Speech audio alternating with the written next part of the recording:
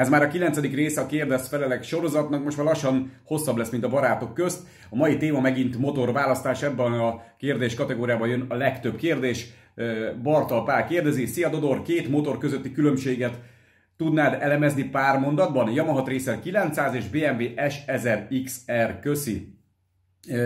Bikább az S1000XR, az új S1000XR az filigránabb és és dinamikusabb, erősebb, mint, a, mint, a, mint az előző XR, tehát a, az előző XR, az utolsó előtti verzió, tehát a 2019-ig, az kicsit ilyen tehén az új XR-hez képest, azt, azt kicsit így, így lefogyasztották, lekarcsúsították, viszont kurva jó erőt tettek bele, itt iszonyatosan könnyen kezelhető a gép.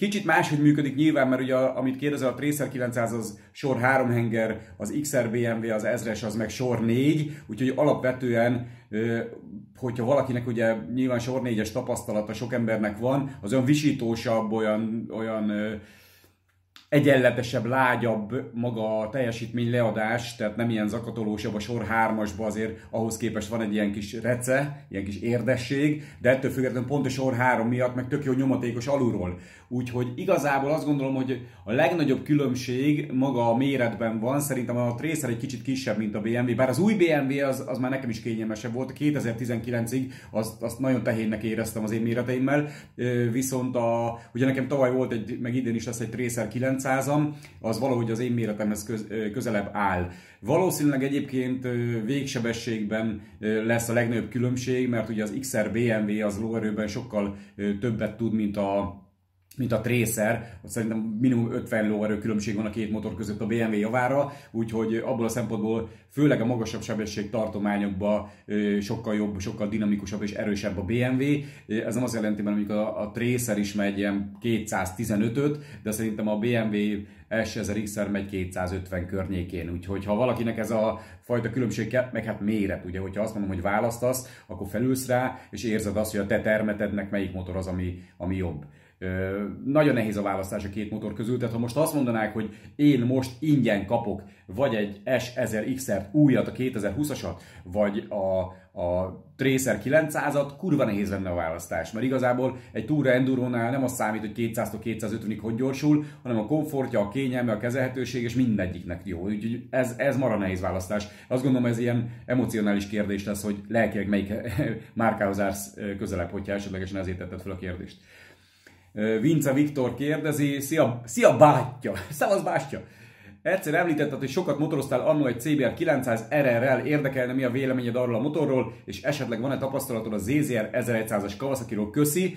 Nekem 99-ben, illetve bocs, nem 2000-ben egy éves korában vettem egy CBR 900-as, tehát akkor igazából a 90-es évek Nimbusza volt, én bele voltam szeretve nagyon, az még az utolsó karbis verzió volt, hát kurvára szerettem, tehát a 90-es évek végén még azért az 900 köbcentiben 128 lóerő, azba az meg ütött, érted? Tehát most már röhögsz rajta, a 600 köbcenti sportmotorok 125, 127, 128 lóerősek, akkor a 900-asok tudtak még ilyen erőt, én azzal kezdtem el így egykerekezgetni, tanulni, meg, meg ilyenek, tehát arra már, már az is kurva jó volt az a motor. Mostani szemmel nézve egy brutál nagy tehén, kurva nagy a faridon, iszonyú széles a tank, mint egy kredenc akkora, de nem tudom, valahogy én mindig szívesen gondolok vissza arra, meg hát eleve a Honda blokk volt, tehát az nem is tudom mennyit raktam bele, 60 ezer kilométert raktam bele azt hiszem ilyen két és fél év alatt, és hát nagyon nem volt baja kuplungot basztam szét gyorsulási versenyen jártam vele, még annó a Rába Ringen szervezett gyorsulási bajnokságot is megnyertem bele, azt hiszem 2001-ben, vagy valami ilyesmi. Csak érdekességképpen mondom, hogy akkor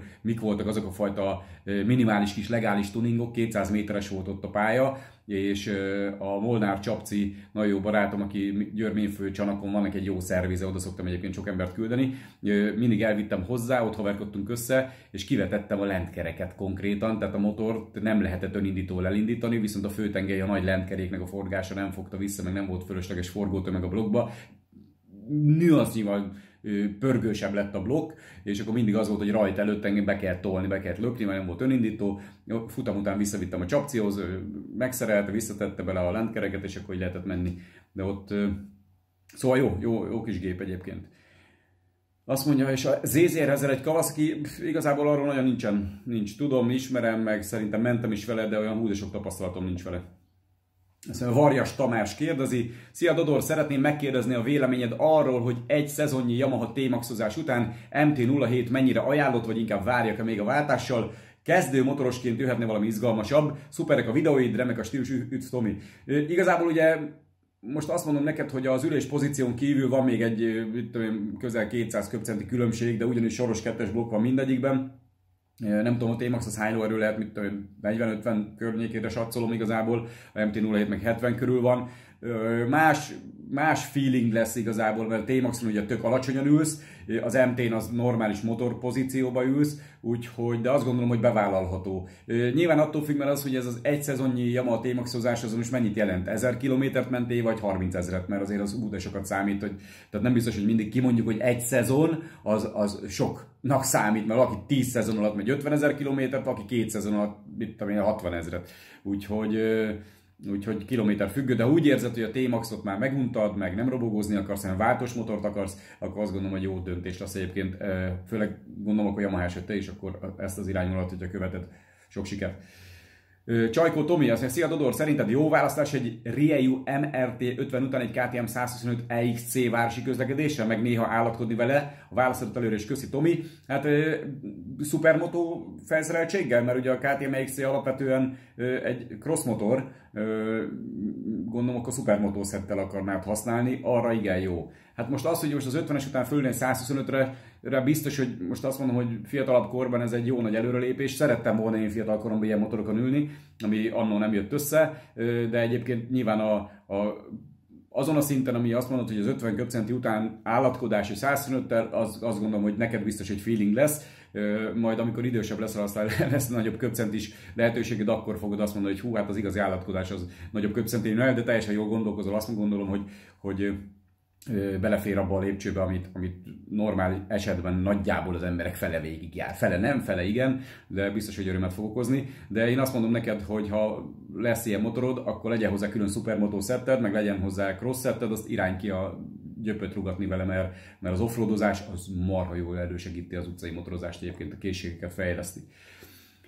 Tóth Attila, üdv Dodor, gratulálok a videóithoz, egyik példaképpen vagy, hát ezzel ne dicsekedjen se, hogy a nyádéknak meg nem mond, mert letiltják az internetet.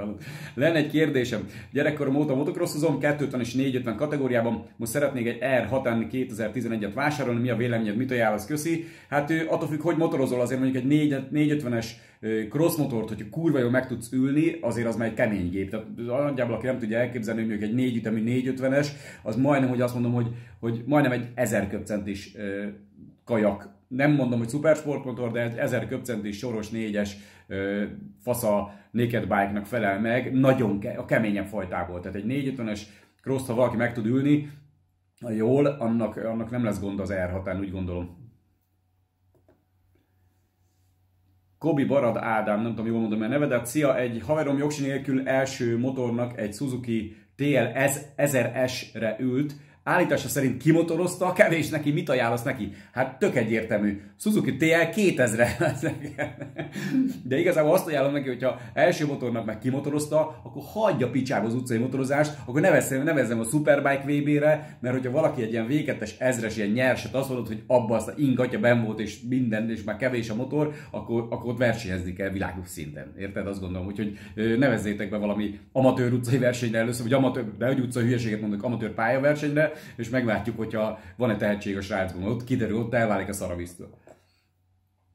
György Bálint Lóki. Szia Dodor, azt szeretném megkérdezni, hogy mik azok a kritériumok, tapasztalatok, amik szükségesek ahhoz, hogy az ember nyugodt lélekkel tovább léphet egy erősebb kategóriába. Jelenleg egy 600-as FZR Yamaha van, de lassan váltanék egy 750-es YZF-re. Kérdésem tehát, hogy hogyan dönthetem el, hogy bevállaljam, vagy még ne. Köszönettel Bálint. Erről csináltam egy videót valamikor tavaly, vagy tavaly előtt, nem tudom, pont az ilyen motorválasztások keresére itt a Facebookomon, pont arról elméked, hogy mi az 5-6-7 pont, amikor azt, gondol, azt meg tudod állapítani, hogy az adott motorban van még tartalék, kimotoroztad belőle, tehát én megérette már a váltásra, vagy még bőven vannak tartalékok a motorban, és érdemes inkább a motoros tudásodat fejleszteni, de egy pár dolog, tehát közlekedtél már vele végsebesség. Most nem erre akarok senkit sem buzdítani, csak nyilván, hogyha valaki nagyobb köpcentis motort vesz, ott emelkedik a végsebesség is. Tehát mennyire számít az, hogy most mit most falra mondok valamit, 220 megy a motor, vagy 245-tel a következő motorod jól tudod terelgetni a motort kanyarban, tehát érzed-e azt, hogy a kanyarodásban, a futóműben, a stb. már azt gondolod, hogy nincsen több tartalék, és, és ki lehet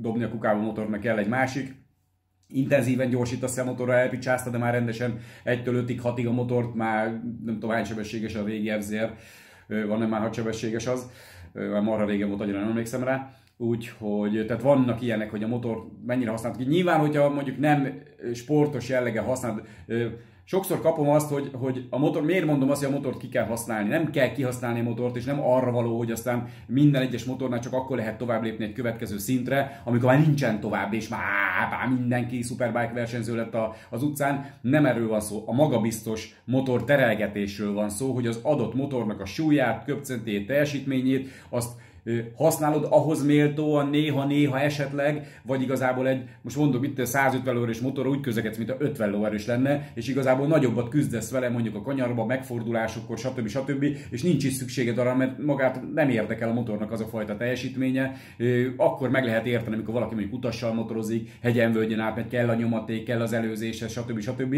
De láttam én olyan motorosokat, akik egyáltalán nem érdekel az meg a 70 km per óra fölötti különbség, és lehet röhögni, hull, komolyan láttam olyan motorosokat, akik egyszerűen így 70, 80, 90 és, és 200 köpten is robogóval is el lehetne kóbászolni annyival, de mégis kurva egy motoron ülnek, de, de nem használják semmire a motort, mint amire legyártották. Tehát olyan, mint hogyha az meg egy venni egy 50 literes fazekat, érted, az egy tojást főzné meg benne, minek akkor 50 literes fazék, meg, megfő egy ekkora fazékba is, érted? Nagyjából. Úgyhogy nyilván mindenkire rá van bízva, mert, mert a legtöbb motorválasztás az igazából érzelmi alapon megy, hogy beleszeretsz egy adott motorba, és akkor mindegy, csak azt akarod látni. Ez tökre megérthető dolog.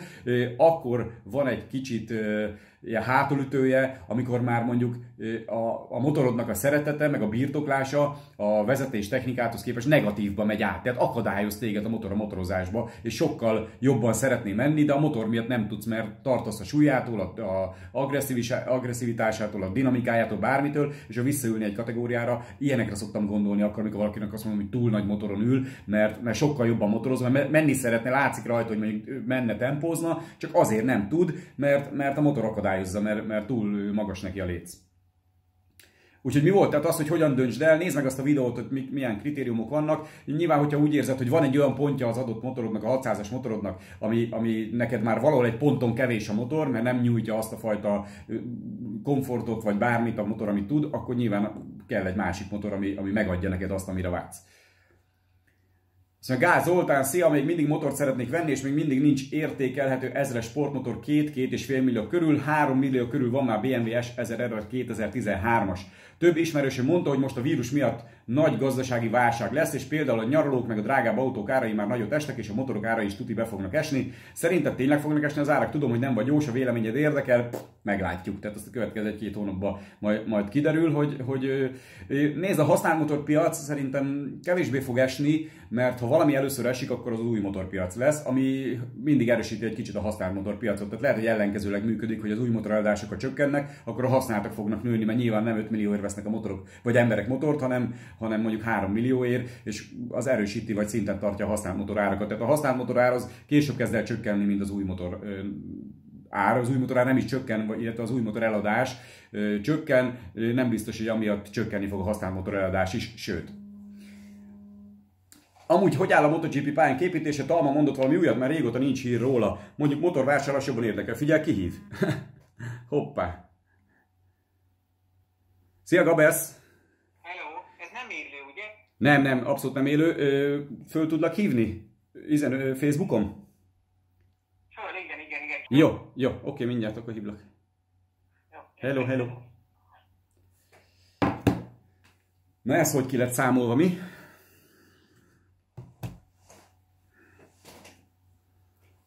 Gázoli, így legyen lottó ötösöd, amilyen pontosan betaláltál a kérdésedbe, hogy pont akkor csörgött rám Talma. Előzetesen megbeszéltük Gabival, hogy jön egy videóinterjú, de véletlenül pont a levelek sorába úgy jött ki, hogy abban a pillanatban, hogy odaértem a Talmához való kérdésre, Gabi már be is jelentkezett. Itt van velünk, bekapcsolom nektek, hogy lássátok ti is, hogy nem kamuzok. Egy másodperc, és meg fog jelenni itt a képernyőn. Teker a telefon, mindjárt csatlakozik. És 3, 2, 1, és... Gábor Talmácsi! Szia Gabesz! Hello, bello! Csinálok egy olyan sorozatot, Gabi, ami arról szól, hogy a motorosok különböző kérdéseket tehetnek föl nekem, és jött egy olyan kérdés Gáz Zoltántól, hogy amúgy hogy áll a MotoGP pályánk építése, Talma mondott-e valami újat, mert már régóta nincs hír róla, már mint gondolom, ő a pályára gondolt. Mi a hír a pályáról, vagy az egész projektről? Még hogy nem a pályaépítés volt az elsődleges kérdés, hanem hogy február végén megszületik valaminek az aláírása, ami elindíthatja a projektet. Most mi van a jelen helyzetben? Hát tudjátok, az van, hogy most minden sportesemény és minden döntés bizonyára húzódik, úgyhogy még egy kis türelem. Most egy olyan helyzetben a világban, hogy, hogy minden be van lassulva, meg van lassulva, úgyhogy most még várni kell. Sok minden nem, nem csak a GP-vel kapcsolatban, hanem hát látjátok, hogy még GP futamokat sem tudnak jelen pillanatban jelen pillanatban rendezni, de hát ugye a Dornának a célja, aki ugye a versenyeket rendez az, az az, hogy, hogy az előzetes versenynaptár, ami ugye ebben az évben 20 futamos lett volna, hogy ezt megpróbálják tartani. Hát 20 futam még lehet akár a Moto3-nak és Moto2-nek, ők már egyet futottak ugye Katarba, de a legnagyobbak a MotoGP-sek ott nem versenyeztek. Egy picit összefoglalom ennek a hátterét, ugye mind a két kategória illetve mind a három, a Moto3, Moto2 és MotoGP is tesztelt előzetesen Katarban, de a legnagyobbak, ők tíz nappal voltak ott a verseny előtt, és még a, a teszt után még visszautaztak Európába. És maga a, ez a szabályzás ugye pont egy héttel a verseny előtt alakult, vasárnap, tehát a futam előtti vasárnap, hogy azt mondták, hogy aki beutazik, ugye főleg Olaszországból, ugye a csapatok nagy része olasz és spanyol, és legtöbben ugye a székhelyű Olaszországban van, hogy akik onnan érkeznek, ők 14 nap karanténba kell, hogy vonuljanak. Tehát így a legnagyobb kategóriának a versenye lényegében elmaradt. Mi olyan érdekes, hogy a, az alkatrészek, a motorok és lényegében az egész ö, ö, infrastruktúra már ott volt a helyszínen, tehát a boxokban ők nem is vitték el onnan. Csak a személyzet nem tudott megérkezni a verseny hétvégére, úgyhogy az első MotoGP futam ebben az évben az úgy került megrendezésre, hogy a legnagyobbak nem versenyeztek, de ennek ellenére a legkisebbek és a középes kategóriában nagyon nagy versenyt láthattunk. És azóta ugye nagyon sok minden történt, törölték az argentin nagy díjat, a, a, a, az amerikait, és ugye a tájföldi, tehát úgy volt, hogy tájföld, Amerika és Argentina, ez volt a fontos sorrend. És a következő az, az májusban lenne Herezben, de és a, a, a Dorna kiadott egy frissített naptárt, ahol továbbra is 19 futam van, de így eltolták a versenyek nagy részét az év végére, ezért Carmelo ezt felett, ami nyilatkozta is amúgy, hogy még lehet, hogy karácsonykor is versenyezni fognak a versenyzők, ami bizonyára nagy megterhelés lehet majd a versenyzőknek, hogy mondjuk lehet, hogy fél évig is nem motoroznak, vagy négy hónapig, és utána hirtelen be kell hozni majd a versenyeket, de hát ez a show business, én azt gondolom, hogy egy jó menedzsmenttel, egy jó menedzseléssel ez akár létre is jöhet. Ugye hát azt gondolom... Ez az május elején lenne, május 1-től 3-ig. Hát azt szerintem az kuka. Igen, én azt gondolom, hogy két embernek a MotoGP mezőnyből iszonyatosan jól jött ez a csúszás. Az egyik a Márquez a sérülése miatt, a válsérülése miatt, hogy fel tudjon épülni. A másik meg Janone, ugye ő neki meg a balhé, meg a, a kétes helyzete miatt, hogy most felfüggesztik, vagy nem függesztik fel a versenyzői jogát. Talán addig tisztázódik a, az ügye, és szerencsére lesz, és fog tudni indulni. Hát ugye most a Herezi futam is, hogy május elején megrendezése kerül-e, most vagyunk március végén. Szerintem nem kell agysebésznek lenni ahhoz, hogy annak az esélye, hogy ott futam legyen, az nagyon kevés kevés. Ahogy a MotoGP honlapján fenn van a frissített versenynaptár, és lehet látni ezeket a tengeren túli, hát hozzánk képest tengeren túli versenyeket, áttették az év végére, és az sem elképzelhetetlen, meg kell várni hogy a kimenetelét, ugye, hogy hogyan csillapodik majd a, a vírusfertőzés, és reméljük, hogy hamarosan vége lesz. Hogy a minimum verseny hétvége az 13-nak kell, legyen. Tehát akkor lehet MotoGP világbajnokságot hirdetni, hogyha 13 után kerül megrendezésre.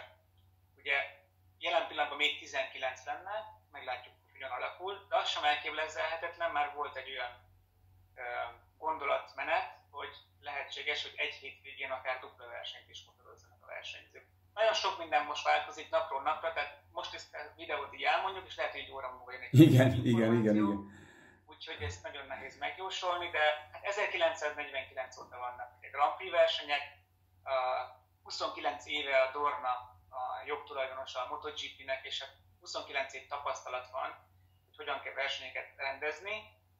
A bajnokság az hihetetlen jó, és már nagyon ki vannak éhezve a szurkolók. Én bennem egy olyan kérdés is felmerült, hogy esetlegesen a kisebb csapatok nem járhatnak-e pórul, mert hogy itt ha a gazdasági helyzet is romlik, hogy esetlegesen a gyengébb költségvetési csapatoktól, hogyha kivonul egy-két szponzor, mert azt mondják, hogy ott megborult valamilyen cég, és nincsen már büdzsé arra, hogy támogassák őket, akkor még az is benne lehet a pakliban, nem? Hogy egy-két Moto3, Moto2-es csapat az mondjuk eltűnik a palettáról, ha nem is hosszú időre, de mondjuk lehet, hogy idénre. Bármi megtörténhet, talán azt gondolom, hogy ha tudják tartani a 19 versenyt, vagy a 13-at, ami minimum, akkor nagyon nagy változás nem lesz, mert a közös cél az az, hogy, hogy a támogató is bizonyára, és a versenycsapat is hozza azokat a feltételeket, amiben megállapodtak, és bizonyára minden szerződés más, nem tudhatjuk, hogy ki mit írt alá. De azért ez egy teljesen olyan helyzet, ami még nem volt. Én azt gondolom, hogy mindenki próbálja a lehető legjobb megoldást kitalálni. Én talán azt gondolom, hogy nem GP szinten, de talán regionális szinten, vagy kisebb bajnokságokban, ahol ugye mondjuk itt egyik főtt a környező országokban, az Alpok Adria, vagy olasz bajnokság, nemzeti bajnokságok, szerintem ott nehezebb lesz ez, mert, mert ott ugye kisebb támogatók vannak, baráti segítségek vannak, kisebb vállalkozások vannak, és most nagyon úgy néz ki, hogy ugye mindenki kivár, és senki nem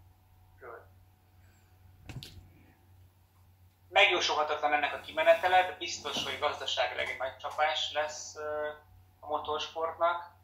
Bizonyára a nagyvállalatok és a szervezők újra fogják gondolni, hogy hogyan lehet. Mindig az a cél, hogy a költségcsökkentés meglegyen, és ugye látjuk azt, hogy például a Moto3-as kategóriában az első 15 versenyző 2,8 másodpercen belül futott a a célvonalon. Tehát lehet látni, hogy az a cél, hogy ne a budget domináljon a, a, a MotoGP-n, hanem hogy, hogy egy olyan műszaki feltételrendszerrel tudjanak menni a, a, a versenyzők, ahol, ahol fenntartják a bizonytalan kimenetet, és így izgalmas versenyeket lehet látni. Mert bizonyára minél feljebb megyünk, minél nagyobb kategóriába, ez annál jobban változik, mert ott már a motorgyártók is egyre jobban versenyeznek, több motorgyártó van, főleg a GP-ben én azt gondolom, hogy ez egy, ez egy verseny, ez, ez egy, most is egy verseny, hogy ebből ki hogy jön ki. És uh, folyamatosan a, a gazdasági emberek gondolkodnak szerintem benne, és a menedzserek, hogy ezt hogyan lehet legjobban vagy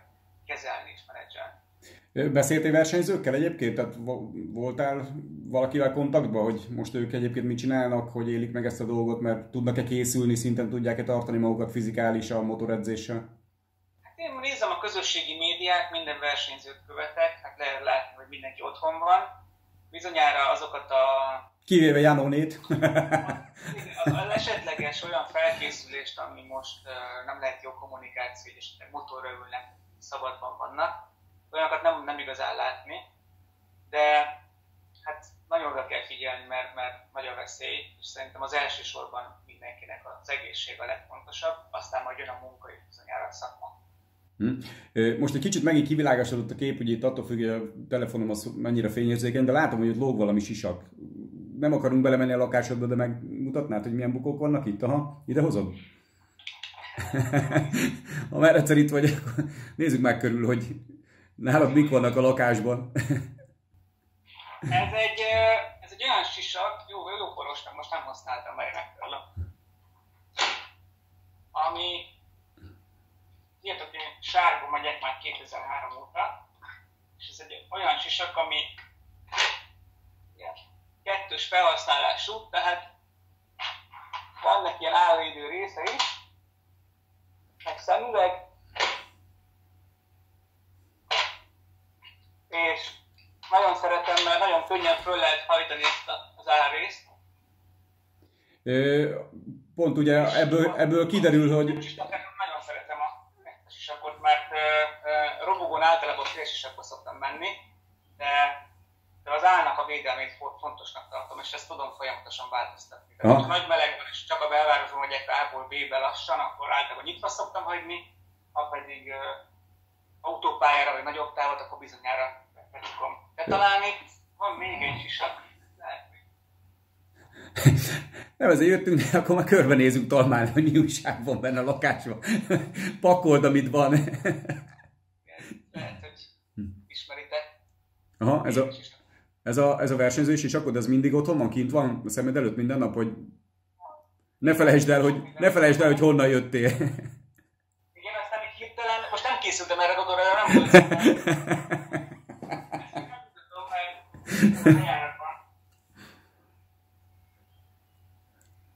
Kicsit közelebb tedd, és akkor, akkor jobb is lesz. Aha, ez egy tiszó micsoda? Tehát képzeld, ez a valenciai polpozícióm, amikor ugye az utolsó futam, amikor megnyertem a VB-t, ugye polpozícióból indultam, 1.39 0 motoroztam, és ugye ez van egy óra is, tehát ez ugye a spanyol pályán, spanyol csapattal, Faubelt és a többieket, Pazini, Pesek, stb. nagy ellenfeleket lenyomtam. Mit van még? isak, de milyen kérdés van hát igazából ennyi, hogy nálad mi újság egyébként, jól vagytok, gyerek, család, stb. Igen, hát a kisfiam most lesz 27-én 5 hónapos. Hihetetlen, hogy hogy nő, hogy fejlődik. Itthon vagyok velük, folyamatosan itthonról dolgozom, és hát nagyon jó vagyunk. Ja. Szépen nagyon figyelünk a, a, azokra a az információkra, amelyet a kormány ugye kommunikál, betartunk minden higiéniai előírást, figyelünk a, a szakemberek utasításaira, és, és nem pánikolunk, nem dőlünk az álhíreknek. Egy nagyon érdekes helyzet van a világban, és próbáljuk ezt legjobban kezelni és menedzselni. Hát most, most ugye neked volt régen, szeretted, volt a motorodon a matrica, ne fürgyéle, ugye most a, a fürgyéle, az, most az, a, az, az, az az irányvonal. Üzensz valamit a motorosoknak, esetleg, akik ücsörögnek otthon, és igazából szerencsétleneknek nincsen jobb dolguk, mint hogy engem meg téged nézzenek, mert úgyis ráérnek igazából. Hát igen, a kezünket ezt mindig Itt a reklám része. Üzensz valamit a motorosoknak? Üzenem nekik, hogy gondolom, hogy ugyanazt érzik, mint én, hogy bejönne már, már menni, meg motorozni, főleg a pályamotorosok. Ugye minden pálya zárva van, és nem érdemes kockáztatni. Nekik is csak azt üzenem, hogy kitartás. Most nagyon fontos, hogy, hogy összefogjuk és betartsuk azokat a követelményeket, ami, ami azzal kapcsolatos, hogy ne fertőzzük meg egymást, ne adjuk át a vírust, és talán ez a legjobb, hogy otthon maradunk. Ezt üzenem neki, hogy, hogy meg magamnak is egy mix kitartás, reméljük nyára lemegy ez az egész dolog, és akkor hamarosan tudunk motorozni közutakon és a versenypályán is. Veled, veled, hogyha itt lemegy az egész hercehurca, hol lehet találkozni? Hát rengeteg projektünk van, de most minden áll, úgyhogy nem tudom erre a választ. Ja, majd azt, akkor majd eláruljuk az embereknek, úgyis találkozunk, ahogy lehet, hogy is találkozunk, aztán folytatjuk a, a megkezdett Így dolgainkat. Hogyha... Remélem a pályák nyitnak, és bizonyára pályánapokon. Jó, van, Gabas. Most szerintem arra fókuszáljunk, ami a legfontosabb, hogy, hogy egészségesek vagyunk, és hogy figyeljünk az embertársainkra. Köszi szépen a bejelentkezést, folyt köv. Meg további szép napot, további szép napot nektek. Hello, ciao.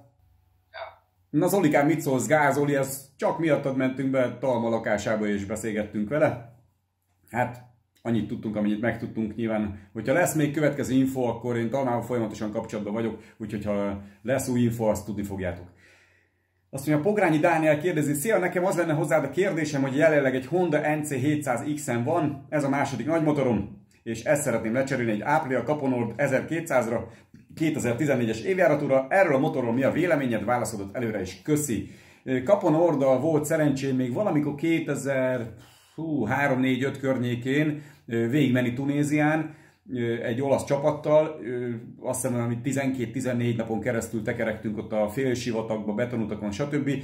Meglepődtem, hogy, hogy egy V2 olasz akkor még nem annyira divatos Tour Enduro, az milyen marha jó volt, hogy nem is tudom, azért sok, sok 200, 300, 400 kilométereket mentünk egy nap, nem mindig marha jó utakon, ugye azért, a szarabb úton mész, azért az már elég nagy távolság tud lenni egy, egy 200-300 kilométer, Nem ismerem a 2014-es verziót, mert, mert akkor én pont ilyen szünetet tartottam, úgyhogy hogyha azt a motort fejlesztették és csak jobb irányba vitték el, ami valószínű, mert minden miért vinnének a szar irányba a motort, akkor szerintem, szerintem jó gép lesz. Az biztos, hogy az NC700 után, mert azért az egy ilyen izé, talicska lesz a Kapanorthoz képest, mert azért a 1002 v az meg tud indulni elég rendesen. Szia, Horváth Sándor, szia Dodor, mostanában kezdtem a korláttal jogsít, és szeretnék ehhez motort választani, de nem tudom melyik lenne jobb megoldás. Az utóbbi években egy 125-ös Kajiva Mitót hajtottam, viszont úgy gondolom, hogy a 34 lóerős Mito után egy A2 jogsis gép nem lenne érdembeli előrelépés. Nagyon nagy vágyam egy 600-as sportmotor, viszont nem tudom, hogy le, nem lenne túl nagy ugrás erőben. Valaki szerint az sem javít a helyzeten, hogy csupán 65 kg vagyok, és nem tudom leterhelni a motort, bár ez alatt nem tudom, mit kell érteni. Gondolkodtam még Naked Bike-on is, mivel 90%-ban 25-30 km-t járok, illetve néha hétvégén csesznek és környékén csavargok. Mit gondolsz? Megvehetem a CBR-t, vagy egy néked ideálisabb lenne, esetleg eh, kellene még egy lépcsőfok a Mito után, mielőtt ráülnék egy 90-100 lóerő körül gépre, köszönöm válaszod. Igazából igen, azt gondolom, hogy most hiába vesz egy 600-as sportmotort, eh, nem lenné vele sokkal gyorsabb, mint egy mint 80-70-80 lóerős eh, Franco Nakeddel. Egyébként nem is értem, hogy az olyan jellegű motorok, mint például egy R6N kava, én azokat imádom abban a sor 2 70 lóból olyan könnyen terelgetek, főleg, hogy a Csesznek környékén jársz, jó kis kanyargások vannak, hallod, ott azzal a motorral ki lehet tömni a sokkal nagyobb motorokat, nem csak a 600-asokat, a nagyobbakat is, egy ilyen 70-80 ló erős, ultra könnyű nékeddel. 34 lóerő után azt mondod, megduplázod és rájössz egy 70-75-re, azt is úgy fogod élvezni, hogy nagyon. És akkor raksz le egy nagy, mert a Mito az nem mondhatni azt mondom nagy motoros stílusnak, de mondjuk egy, egy ilyen jellegű soros, soros kettes, most nem biztos, hogy pont az R6 lenne jó. Majd egyszer valami rá fog kérdezni, mert nagyon sokan horneteznek, hogy sor 4, nagyon sokan vesznek Hornet 600-at. Szerintem könnyebben és jobban kezelhető egy sor 2 és könnyedebben is le lehet vele rakni az alapokat, könnyebben meg lehet szokni a motornak a kezelhetőségét, mert ezt már egy csomószor elmondtam, hogy a giroszkóp hatások miatt sokkal könnyebben terelgethető, stb. stb. nem kell olyan széles nagy blokkal, meg annyi forgótömeggel küzdeni. Szerintem, hogyha bele teszel még a, a Sport 600 elé valamit, nem, nem fogod magad rosszul érezni tőle, ezt mondom. Sóki Csaba, szia Dodor, motoroztál már Yamaha Thunder Race ezres motorral? Ha igen, mi a véleményed tapasztalatod a motorral kapcsolatban? Köszönöm a válaszott, széles utat, hogy a kombájn elférje hogy uh, ismerem a motor, tudom mi az, de szerintem, ha mentem is vele olyan marha régen, de, de még abban sem vagyok biztos, hogy mentem ilyen motorral. Úgyhogy sajnos nem tudok erről mit mondani. Györfi Győző, szia Dodor, olyan kérdésem lenne, hogy milyen teljesítményi motort érdemes nézzek, 120 kg plusz, ruházat, csisak, a típus kiválasztása nyilván az én dolgom, nem akarnék túl nagyot sem, illetve nem mennék hosszabb 500 km-nél távolabbi túrákra, válasz előre is köszi. Én azt gondolom igazából nem a teljesítmény az első választási szempont a motornál, hanem az, hogy a 120 kilódra kényelmes legyen. Elférjen a segged rajta, nem tudom milyen magas vagy alacsony, zömök, tömör, izmos, vagy kigyúrt 120 kiló vagy, úgyhogy igazából ne a teljesítmény legyen az elsődleges, hanem az, hogy kényelmes legyen a motor. Mondjuk azt, hogy inkább milyen teljesítménytől, én azt mondom, hogy 70 lóerő től. Nem tudom, hogy mi a motoros tapasztalat, hogy ezért nem tudok nekem mit mondani, de azt gondolom, 70-80 lóerő az mindenki számára kimotorozott. Nyilván, hogyha már ebben ezen a kategórián túl vagy, akkor a következő lépcsőfok az, ami jó lesz neked. Kelemen. Mátyás, szia Dodor, bátorkodom kikérni a véleményed a következő kezdő kérdésben. Vélemény szerint a Suzuki TU250-es megfelelő lehet egy kezdő motoros számára, aki hétköznapi használatra szeretne egy könnyen javítható, viszonylag alacsony költségből fenntartható motort? Nem zúzni szeretnék, csak a lehetőségeim mérten élvezetesen közlekedni, leginkább munkába, munkába járáshoz és kisebb hétvégi kikapcsolódásra szeretném használni. Nem rendelkezem jogosítványjal, ez lenne az első járművem, válaszol is köz. Hát bevallom nektek férfiasan, hogy én még az életben nem hallottam erről a Suzuki TU250-esről, megnéztem neten, Figyelj, Mátyás, igazából nem neked szól most az, hogy röhögök, vagy valami, mert arra, amire te azt mondod, hogy tervezed, 20 lóerős motor ultra tökéletesen elég lesz, de hogy én ilyen kurva ronda motort mikor láttam utoljára, ezt meg nem tudom mondani. A Suzuki GSX-F 607 ilyen, van, biztos anyázni fog, az a kancsarszamű, ezek, az, az, az, az, azt hittem az a legrondább motor. Most már szép lassan kijelenthetjük, hogy a Suzuki, és nem azért, mert ilyen jó viszonyom vagyok, de a Suzuki tud kurva csúnya motorokat is gyártani. Abból a szempontból figyelj, nagyon jó lesz a választás, hogy ilyen nem fog szembe jönni veled minden nap. Az, az tuti biztos. Az tuti. De egyébként abban gondolkozó, hogy alacsony fenntartás, stb. stb. 20 lóerővel nem fogod, fogod tudni széttépni az aszfaltot, ugye valószínűleg a motor is bírni fogja a strapát. Tihanyi Kristóf, azt mondja, szia Ador, 1,2 millió lenne a keret, te milyen sportmotort vennél magadnak, és köszi előre is a válaszod az eddigi munkássággal, az segítségére, tanácsod, üdv Kristóf. Hát tudod mit, én belépek neked ide a használt autóra, és rákeresünk, hogy 1,2 millióért mi a, mi a kínálat, és azt mondod, hogy mit vennék meg. Ö, én ültem annyi sportmotoron igazából, hogy az utolsó évenben, amikor megvolt a sportmotorom, akkor inkább már neki volt támasztva a garázsba a fának mert már nem volt kedvem ráülni. Most ráülnék egy jó pár év kihagyás után, de, de nem. Azt mondja, nézzük, 1 millió, 1 millió 200 ezer, és kivitel, gyorssági sport. Nézzük, mi 64 darabot kínálnak itt. Hmm. Hát figyelj, egész jó. 600-as Kava Ninja 1 millióért. Vannak, van itt azért jó. És két, az mikor, mikor ez? 2005-ös 25 ezer kilométerrel. Figyelj, szerkezetileg tökéletes állapotban lévő 90 es gumik, új láncet, stb. Hát, és ott van 1 millió 500 ezer, meg elköltesz benzére, meg gumira. De itt van K5 és Gixxer 600 és úgy látom, akkor inkább a 600-as motorok lesznek ebbe futók. Honda CBR 600 ezer, van egy 2004-es Gixxer 1000, 1 millió 50 ezerért, kurva nagy a kínálat. Úgyhogy nem is gondoltam volna, nem szoktam annyira nézegetni azt, hogy, hogy mi van. Ja, nem is hülye vagyok előbb, azt mondta 1 millió, 1 millió 2-t mondtál. Suzuki GSX-er 750, 1 millió 1 ér, 50 ezer kilométerrel, ilyen nem volt az a citromsárga 750-es, ú, de imádtam. Ú, na én ezt venném meg. Én ezt venném meg. Ugye ez volt a kérdés. Menj fel a használt autóra, aztán csócságos se, hogy mi tetszik. Olá Sándor, hello Dodor, most kezdtem el a korlát a jogsit, és nem tudok dönteni motor téren. Az egyik, amit kinéztem, egy MT-07, a másik egy CBR 650R. Az érdekelne, hogy a CBR futóműve hogy viselkedik a szara butakon, mennyire kemény, feszes az MT-hez képest, és alkalmas a mindennapi motorozáshoz. Lehet, hogy nem próbáltad, de tőlem biztos többet tudod a túrosport motorokról, köszi a választ. Uh, igazából, uh, igazából uh, két más kategória, mert MT-07 az néked, a CBR meg ugye burkolt motor, több szélvédelemmel, sor 4-es blokkal, kicsit erősebben, úgyhogy tehát az MT-07 az, az egy lassabb és, és hogy mondjam neked, pipogyább motor, mint a, mint a CBR 650R. Úgyhogy neked kéne eldönteni azt, hogy mert az, hogy most kezdted a korlátlan jogsit, ahhoz viszont meg az MT-07 is kurva jó, hogyha azt mondod, hogy most lesz az első nagy motorod, mert, mert az, se, az se két nap kimotorozni igazából, hogyha most kezded el. Én azt mondom, hogy kezdj egy kisebb gyengébbel, ami nem azt jelenti, hogy az MT-07 az egy fos motor.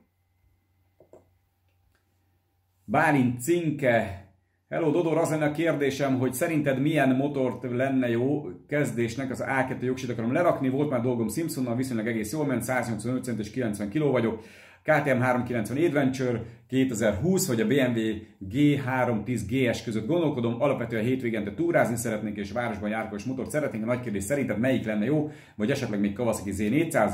Idomosat nem szeretnék kezdőként, mert feldőlök vele, és az idomokra rámegy az egész gatyám. Figyelj, igazából azt gondolom, hogy most az első két motor az egy, az egy Tour Enduro kategóriás motor.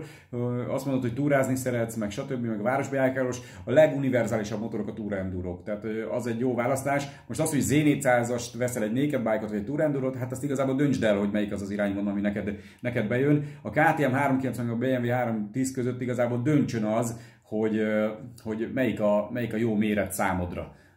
Mert, mert mert az számít leginkább, hogy, hogy melyiken érzed magad komfortos, komfortosan, és más építési motorok alapvetően. KTM mindig egy kicsit keményebb, sportosabb irányvonalat képes, képvisel, a BMW meg túrásabbat, úgyhogy ha van lehetőséged akár szalonokba űre egyikre, másikra, és érzed azt, hogy bevág a seggedbe, nem vág be a seggedbe, kezednek, karodnak, seggednek, lábadnak, amelyik jó, akkor az lesz a komfortos motor.